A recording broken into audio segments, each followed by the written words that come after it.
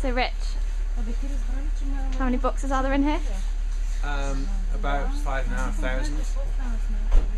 And earlier this morning, what was this looking like? Uh, it was looking like this.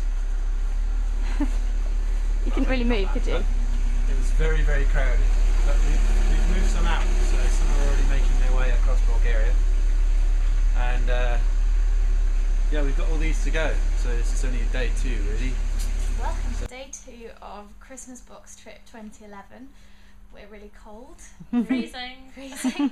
We've been in this warehouse all day, sorting boxes, Yeah. packing boxes, sending them to lots of different places across Bulgaria, meeting some of the people who are going to give them out on our behalf. Um, I can't say it's been fun. What would you say, Laura? Oh, I don't know. Well, Parts of it have been fun. It was Yeah. nice when the man bought us a cup of tea. I wasn't Yeah. for that though. It was Did what's that? raining.